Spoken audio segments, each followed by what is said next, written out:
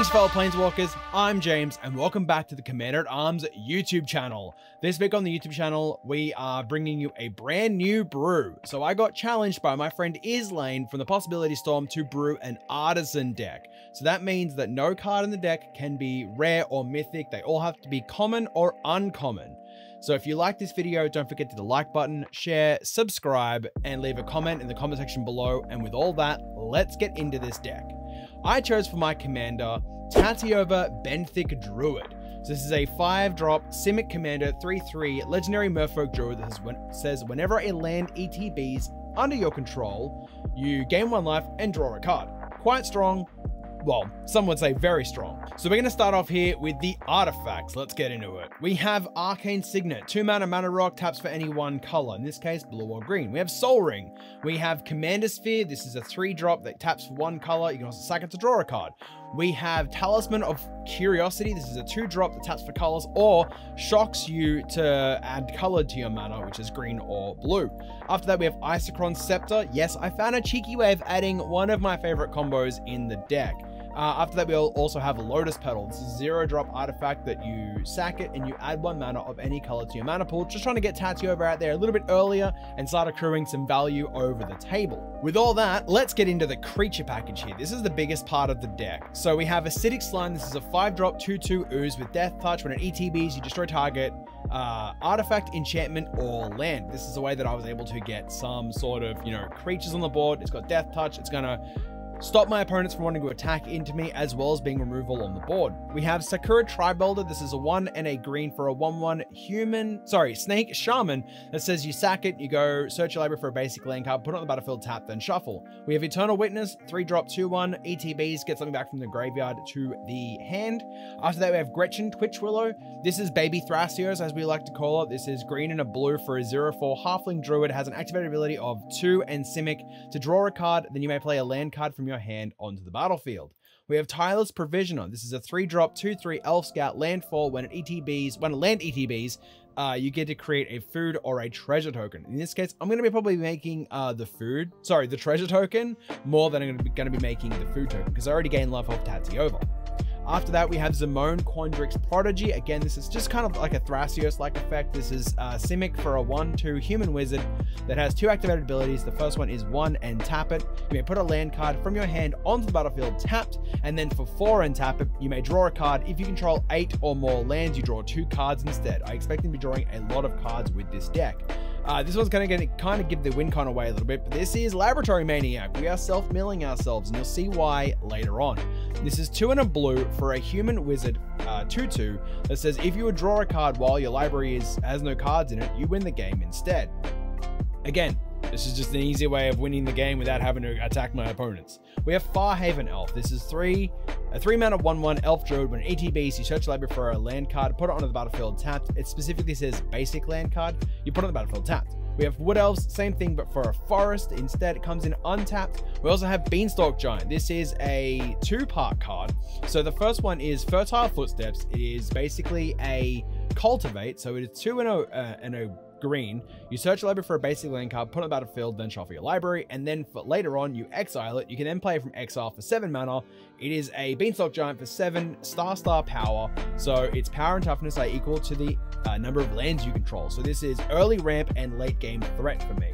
Uh, we have Sporemound. This is a 5 mana 3 3 creature fungus with landfall. Whenever a land ETB is under your control, uh, create a 1-1 green Saproling creature token. I'm going to be getting a lot of value off of the lands, and this just kind of gives me even more value. That way I can start bringing up a board presence. I have sack fodder, I have block fodder as well. I have attackers if I need it. Just a fantastic card in the deck, especially when I'm going to be versing a lot of maybe go wide strategies. Uh, we have Ruin Crab. This is one blue, zero three crab, landfall. When it when land ETBs under your control, each opponent mills three cards. We are on the self mill and also mill our opponents. So I want to stop my opponents from even doing anything. We are running 20 copies of Persistent Petitioners. So this is one and a blue for a 1-3 human advisor with one activated ability, you can pay one and tap target. Uh, so you can pay one and tap. Target player puts the top card of their library into their graveyard. So they essentially mill one. But Sorry, for the second uh, activated ability, you can tap four untapped advisors you control. Target player puts the top 12 cards of their library into their graveyard, and a deck may have any number of cards named Persistent Petitioners. So I'm going to be either using these to mill myself or mill my opponents. Uh, we have Peregrine Drake, 5 mana, 2, 3 flying ETBs, untap 5 lands, just keeps me, you know, letting me keep going essentially. Uh, we have Reclamation Sage. This is the same as Acidic Slime, but only hits target artifact or enchantment. It is a 3 mana, 2 3 elf, uh, elf shaman. After that, we have Sakura Tribe Scout. This is a 1 mana, 1 1 Snake Scout Shaman that has an activated ability of tap. You may put a land card from your hand into play. We have a couple of these effects. We also have Hedron Crab. This is the original. This is the original Mill Crab.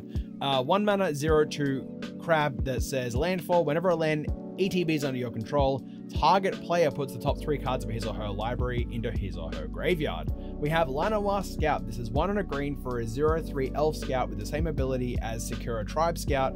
It lets you tap it to put a land onto the battlefield. And that is all of our creatures.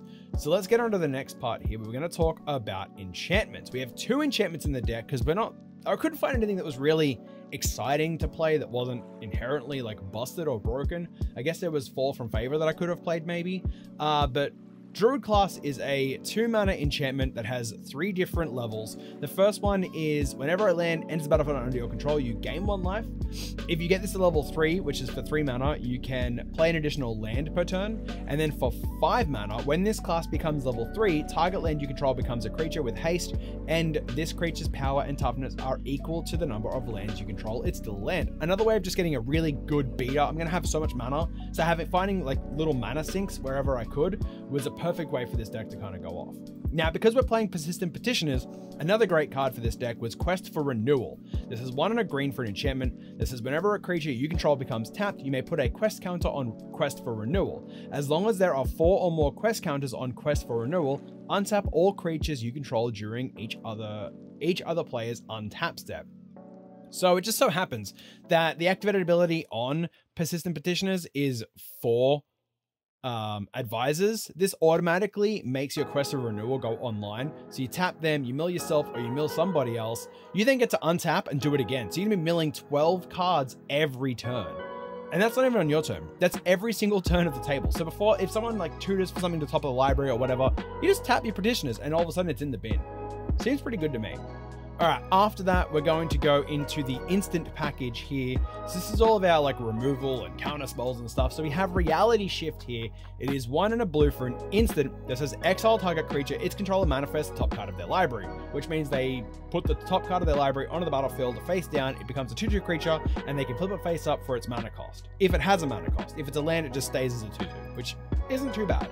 Uh, we have Beast Within. This is a 3 mana removal for a target permanent. Its controller creates a 3 3 green beast creature token. We have Arcane Denial. It's 1 of blue for an instant. It counters target spell. Uh, counter target spell.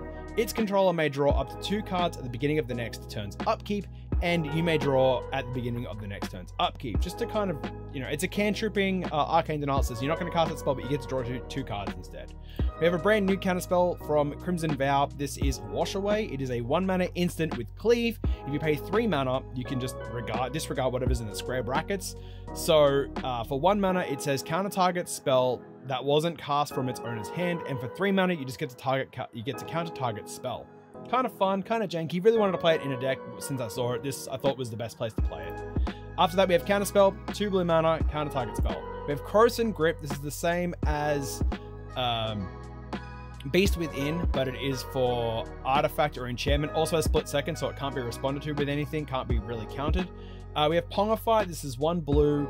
Destroy target creature. It can't be regenerated. Its controller creates a 3-3 green 8 creature token. We have Ghostly Flicker. This is 3 mana instant. You exile two, tar two target artifact creatures and all lands you control, then return to the battlefield under your control. Yes, this is another way that I got infinite mana in this deck in uncommons.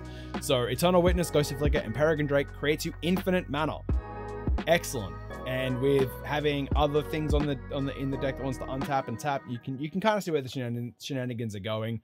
I want to ramp, I want to draw, I want to find a combo piece. Yes, I found out a way to make an artisan EDH deck. With combos in it because that's the kind of player that I am. We have Harrow. This is two and a green for an instant that says, as an additional cost to cast a spell, you sacrifice a land. You may search your library for up to two basic land cards, put them onto the battlefield, then shuffle. We have Dramatic Reversal. This just goes with the Isochron Scepter. It untaps all non-land permanents you control, which is going to untap your mana rocks, but more importantly, it's also going to untap your persistent, persistent petitioners. Try to say that 10 times fast. It's kind of hard. We have Growth Spiral. This is a two mana instant that says draw a card. You may put a land card from your hand onto the battlefield. We have Nature's Claim. It is a removal spell. One mana, uh, one green mana for an instant. Destroy target artifact or enchantment. Its controller gains four life. After that, we have Deprived. This is a two mana counter spell, but as an additional cost to cast it, you return a land to uh, you return a land you control to its owner's hand. So again, fantastic two mana. Just you know, tap two, cast it as an additional cost, just bounce one of those lands back to your hand. You get to then play it again if you have Druid class on level two, or if you haven't played a land for this turn, do it in, uh, play it again, get another landfall, draw a card off Tatyova. It's just a fantastic counterspell for 59 cents. We have Sprouting Vines as our last instant here. It is a three mana search your library for a basic land card, reveal that card, put it into your hand, then shuffle, and it has Storm. This is Cultivate, but only to the hand and has Storm. So you can just get as many uh, lands out of your deck as you want. And then when you play lands, you're only drawing straight gas because you've already brought all of your lands out of your library and into your hand. We would normally go into the mana base here, but I'm not going to because mana bases are very subjective, and this one's kind of meh. It's all right. I mean, it's a it's a artisan EDH deck. Hasn't got anything fantastic in it. It's got a couple duals in it and a, and a couple of other stuff. Uh, Mystic Sanctuary is one to kind of talk about here. It kind of is going to put an instant or sorcery card back on top of my library, which could get me another uh, ramp spell if I really wanted to. All right, lastly, we're going to go into the sorcery packet here, and we have Distant Melody as our first sorcery. It is a four mana sorcery that says choose a creature type, draw a card for each permanent you control of that type. You're going to be choosing either humans or advisors, so you can just draw a butt ton of cards. Uh, after that, we have Explore. This is one on a green for a sorcery. You may play an additional land this turn, and you also get to draw a card. We have Cultivate, three mana ramp spell, search your library for two basic land cards, put one on the battlefield and one into your hand. We have solved the Equation. This is a three mana uh, tutor that lets you search your library for an instant or a sorcery card, reveal it, put it in your hand, then shuffle. We have Fabricate. It is a tutor only for an artifact card. You put it into your hand, then shuffle. We have Kodama's Reach. This is a three mana. Essentially, it's the same as Cultivate. You search your library for two basic land cards, put one on the battlefield uh, tapped, and the other one to your hand. And with all that said and done, this is the deck that I'm going to be playing on the Possibility Storms stream on the 12th of March. So we're going to be playing some Artisan Commander over there. I'm super excited to play this deck against Izlain and everyone else we've got set up for the pod. So if you want to check that out, uh, head over to their Twitch page. I'll put a link in the description below. Uh, if you want to see this deck get, you know, either absolutely insane with value or if you want to see me lose, because that happens as well. Uh, if you like this video, don't forget to hit the like, subscribe, uh, share it with your friends, leave a comment, and ring the bell as well. Uh, if you want to talk to us about any of these cards or anything, you can do it on Twitter, which is CMDR at arms. If you want to pick up any of these cards, do it through our TCG affiliate link. That is tcgplayer.com slash commander at arms. And most importantly, if you want to support the show directly, you can do it on Patreon at patreon.com slash commander at arms. All patrons get access to the Discord server, and certain patrons also get the chance to play Magic with Paul and I on our gameplay streams over on twitch.tv slash commander at arms, which is commander at arms to the battlefield that we upload here on YouTube every single Mondays. So go and check that out as well. And uh, yeah, that's pretty much it. So with all that, I'm James, and this has been a new Commander at Arms deck tech. Peace. See ya.